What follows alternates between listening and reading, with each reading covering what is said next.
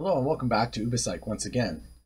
I've been watching a lot of videos on the Mandela effect, and being a researcher myself, I've been hoping people will start doing some real research on the issue.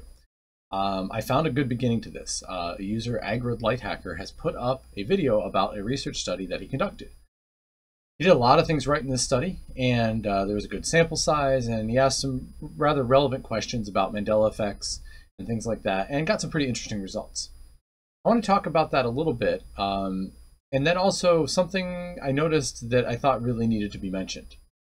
Uh, first of all, what he established fairly well was that the incidence of these effects is pervasive, and that is whether it's memory error or a real effect. A whole lot of people on the ones that we recognize as very, very common agreed with the answer that is wrong or Mandela affected. I hope I said that right, but I think you all know what I mean. And um, he said that this means that it can't be memory error. Well, I don't agree with that. Of course, it still could be, but it certainly makes the case that if nearly everyone is misremembering it, it's less likely to be memory error. That or these are very, very special, unique things in our world that are just misremembered almost always. Uh, note that even in those, some people were getting it right, whatever that means, uh, and whatever the reason behind that. Um, so check out that video. I'm going to link to it. Um, and because my comments are short, I'm not going to show any clips today of that, but just tell you a little bit about it. Go watch that video. The link's right below. Um, and at towards the end, or somewhere at the end of his research survey, he asked people questions um, where they could answer open-ended. I don't know if it was just please put your comments or whatever, but he scrolls comments. And I want to be clear again because I'm going to sound super skeptical again, um, and, and I am.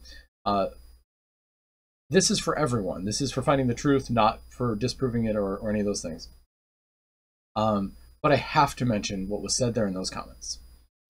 You will see that he scrolls through what people have written, and many, several right in a row, proclaim their memory to be so fantastic, to be beyond reproach, that basically, because my memory is so great, I could not have misremembered. Stop right there, not true. The one who ran this research study, thank you. To the people who responded to this, stop it, you're lying. And being defensive like that isn't helping anyone. How do I know that? Well, I've got a great memory, but they claim, they claim they have photographic memories. What they probably really mean is eidetic memory. In either case, the number that appear there is too many for the entire study. And that's not even all the notes as far as I can tell. True photographic memory almost doesn't exist. It's more of a myth than an actual thing. You can look this up yourself, but that would actually mean that what you see is remembered like a photograph in full detail. That's easy to test, and almost no one has it. And when I say almost no one, I mean a couple people in the history of the world ever that we know of. And maybe of the 7 billion people today, or whatever the right number is, a handful, maybe even 100. But let me tell you, a handful of them did not take this research study. Didn't happen. So let's say they meant eidetic memory or another similar form of really, really, really, really good memory. Those are still so rare that I do not believe that many people fell into the study. What really happens is people want to be believed. We all do. I want to be believed. You want to be believed. It's fine. But it's not helping anyone because you're basically saying what I remember can't be wrong. I will never say that to you. Everything that I say to you in here can be wrong, whether from memory or having been taught incorrectly, whatever the case may be. But the incidence of that is just so low. So many people claim it. I've seen it in my own life. Oh, I have this great memory. It's almost photographic. Okay, you do, but part of it's you thinking that, and part of it's for real. If you know someone making a claim about Mandela or otherwise who says they have this type of memory, I'd invite you to test them. Test them. Take them somewhere. Then come home and ask them questions. What was the license plate on the car that drove by? Oh, you don't know? Then you don't have a photographic memory. Solved. If you did, you'd remember it and everything else. Photographic memory, the true kind, is so good that you can see two halves of a stereoscopic image on different days and see the 3D por portion. If you don't know what those are, that might be confusing, but we're talking ridiculous if it's truly photographic. Even eidetic is so good, you should be able to ask a lot of questions and get ridiculously good answers. You ask them things like if they remembered every single person's name you met that day, or the names of things on billboards, or the name of uh, each store or restaurant that you saw. they won't. They won't. They don't have that kind of memory. Almost no one does. But so many people claim to have it. I have a good memory. So do many of you. I take a class in school, I do really well. And that's pretty good evidence that I have a good memory. I still catch myself making memory errors every single week. Whether I never saw it correctly to begin with, or it's faded over time, it happens. So, what I'm trying to say about this is that we've got to get this ego driven insanity out of here that I can't be wrong, I can't be wrong, I can't be wrong. Even if you're right about the Mandela effect, those of you making Mandela effect videos have been doing this constantly. And you need to understand we're not going to believe you that everything you remember is perfect because we're not that way, you're not that way. So tell me, oh, I I spent so much time in this, so I know.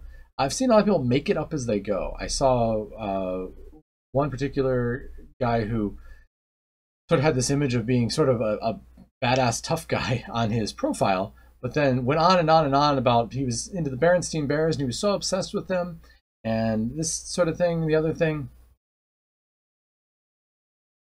I, I don't believe it. And that's unfair for me to say that because it could be true. What I'm saying is everyone seems to create that same story about no, no, I had this incredible experience with.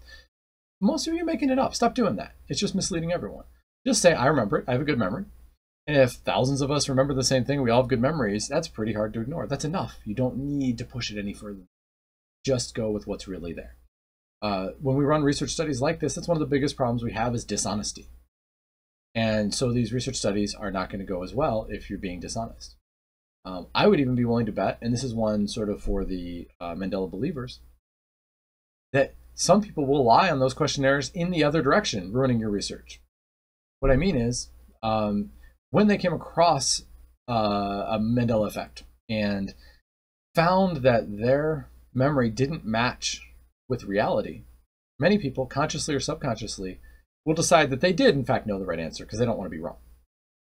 And so if it was uh, Berenstain Bears, which was, uh, some people say, used to be Berenstein or Berenstein, then uh, they sort of go through this process of, man, I feel silly for misremembering that. And they actually change their own memory of what they think they believed it was.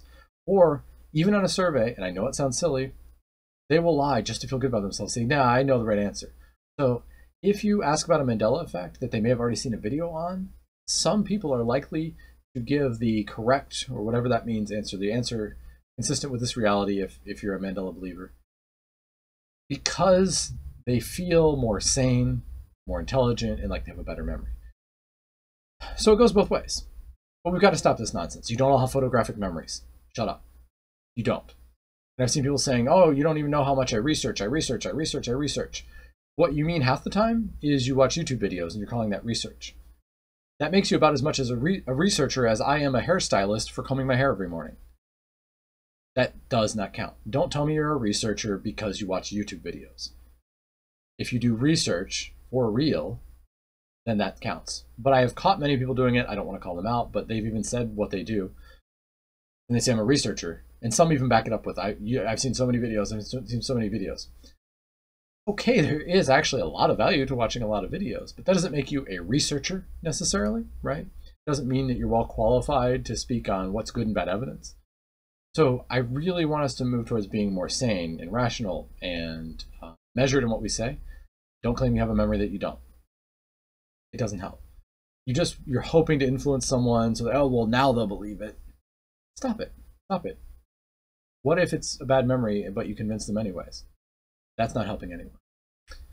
All right, well, that's the end of my rant. Uh, join me next time where I will see psychology somewhere else.